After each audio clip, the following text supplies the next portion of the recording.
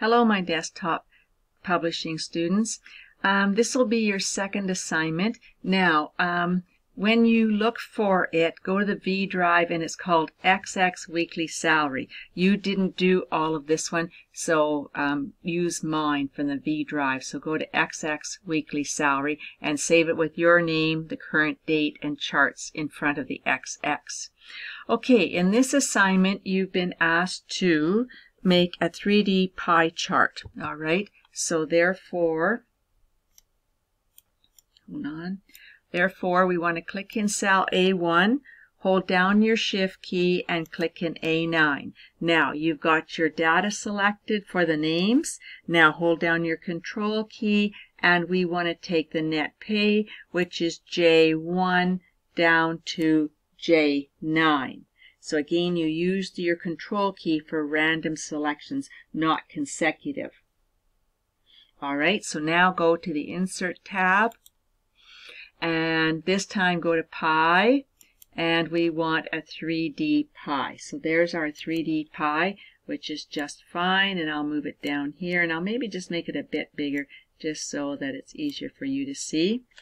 Okay, so now they ask us to click on the chart area. So remember, there's the chart area anywhere you click and put in a background. So right click and go to format chart area and we want to go to fill and choose a solid fill or a fill of your choice. It doesn't matter to me.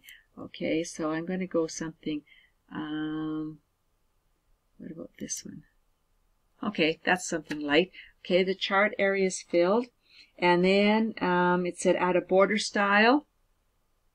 So go to border and I'm going to go with a solid line. Because I went with purple, I'm going to go with a purple border.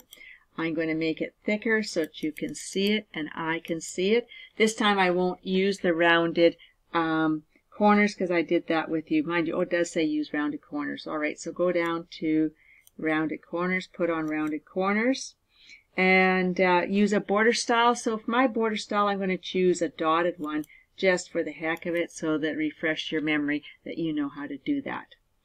Okay, that's good. And now we want to add some data labels to this. So we want to go to add chart element and you're going to say data labels. And I think we'll go with, okay, there's outside end, inside end. Well, if we go with inside end, and what about best fit? Okay, best fit, all right, we can, but you can see they're not readable. So click on your data labels and we've got to go to fill and you've got to put a light fill in of some kind on them um, so that you can read them. Okay?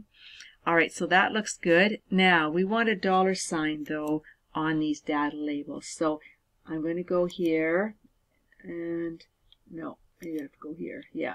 Okay, I want to go to number, and I'm just, said just leave them at general, and, um, or I'll put on, I'll go with accounting, like we've always done. And we want zero decimal places. Oh no, we need two decimal places. So leave the dollar sign in two decimal places. That's good. All right, so we've done that. So now um, we've got them placed, the data labels. All right, the next thing says um, click once to select the whole pie. Okay, well, I've got here, I'm going to click the whole pie and it's all selected. And now you click one more time on the largest piece which is this one that's at 25. So you can see the handles on that piece of the pie, all right? So it asks you to fill it with a picture. All right, so, and it says make sure you see format data point, which we see, and we want to go back to fill, and we want to go to picture. And it said you can use a picture from your folder or a picture that you want. Okay, so I'm going to see, I don't know if we have one, I should have one in my file. And um, so let me have a look here. So I'll go to Data D, L Mansell, and if I got any pictures, no, I don't think so. Okay, you know what? I'm not going to take any more time. I'm going to go online and um, let's see what we can find on Bing. And I'll put in here uh, salary.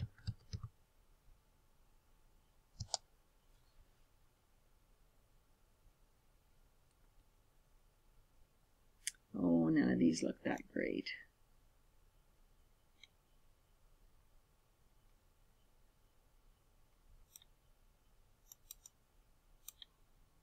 Um, search Bing.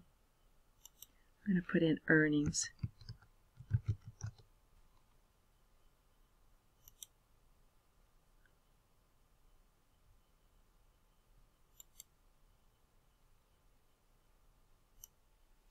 All right, I went to look on Bing and I couldn't find anything that I liked online. Maybe you found something. So I have put some pictures in the v in the classes drive for you if you need to find a picture. So I'm going to go to File and I want to insert picture from and I want to go to your classes drive and I'm going to go to desktop publishing and I'm going to go to pictures and we got a few pictures here that you could use. So I like this as a full colored one so I'll use this one.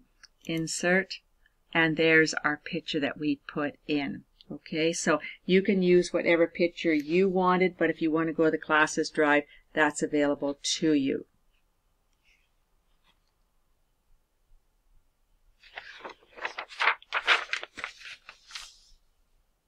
Okay, now it says click on the next largest piece of pie. Oh, I missed one. Here's 25, here's 26, so I need to be on this 26 one. So, um, well, I've got them reversed, but I'm not going to change it now. It's okay. All right, and it said fill it with a picture. Okay, so once again, we're going to go to our fill, and we want to use a picture and from file and then we'll choose another one here. So I'm going to choose this one insert and there you can see that one. And now and again I missed the 27 so I'm going to go to this one. So because we need to have three done with a picture. So as long as you've got three of them done that's good. So we got the 27 the 26 and the 25 we made it we worked it out. All right so I'm going to go to picture I'm going to go to File, and this time I will choose maybe this one. All right, and insert it. Okay, so we got three pictures there. That's what we wanted. All right, save your work if you haven't. Now, this time, click on the chart area for me, and I want you to right-click, and I want you to go to Rotation go to 3D rotation. All right, you've seen this one before, so I want you to adjust the rotation and you're going to put the three largest pieces at the top of the chart.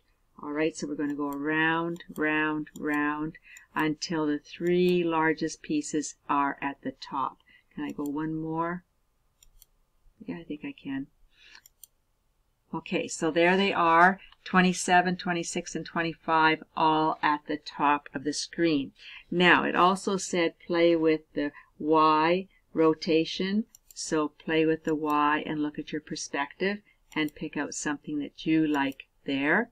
And um, here, go to your perspective and you can decide how you want it to look. All right, so you've done that. So now it says um, click on the largest piece of the pie. So this time I've got to make sure I get it right. And this is the 27, right? And I just make sure you're on the one piece of the pie and drag it out slightly. Maybe I can go out a little bit more. There, okay?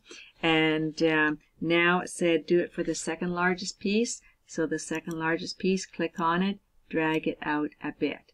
And then with the third largest piece, drag it out a bit. So you're just showing me that you know how to do that. All right, so that is good.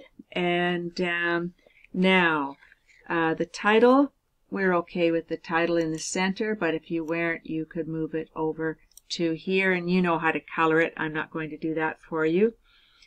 All right, so that's all that we need up to this point. So click on your spreadsheet and go Control S to save. Now let's take a look at this one. I don't know if there's any headers or footers on here. So let's go to File, Print, and I hope we got a preview. And we do. Okay, the headers and footers are on there. And uh, so that's good. And everything looks 100%. You can see your chart fits in there. You've got one of one, so that's great. Now, the only thing different that would be, let's go to header, and on your custom header, remember I ask you to place the page of pages here. So page, spacebar OF, spacebar, pages. All right. And of course, put your name in there. And uh, your custom footer, we don't need the page down here because we've already got it in the header. And we'll you'll likely have a picture here. So um, I'll just go here, insert a picture, and uh, I'm going to say from file. So I'm going to browse, and uh, I'll take this one. I don't think i'd Oh, here I'll take this one. This will be good. Insert, and we want to size it down to about 30%. So let's size it to 30. All right, then I'm going to tab and say OK, and OK, and one more time. All right, so now you've got everything all set up as it should be.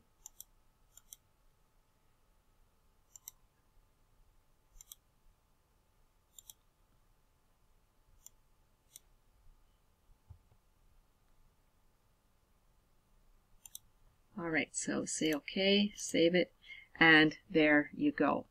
All right, so it's ready to show me. You're not going to print it, but it's ready to show me. So go back now, and we'll stop here. So save your work, and that's it.